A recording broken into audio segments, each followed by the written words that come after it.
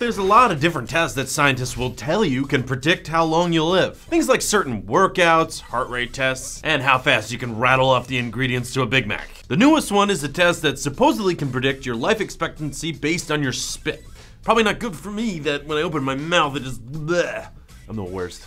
Hey everybody, I'm Patrick Jones and welcome to Buzz 60. Researchers from the University of Birmingham looked at 639 adults starting in 1995 and went for 19 years. They found that there's a specific antibody in your saliva that drops more and more the closer you get to death. They're saying that that specific antibody does a good job predicting general health. And that's not all your spit can predict. Other studies are saying that saliva tests could be used to determine if someone would develop Alzheimer's, certain cancers, as well as sexual preference, on top of telling us when Homer Simpson is really into his food. I have this sweet, sweet chocolate mousse.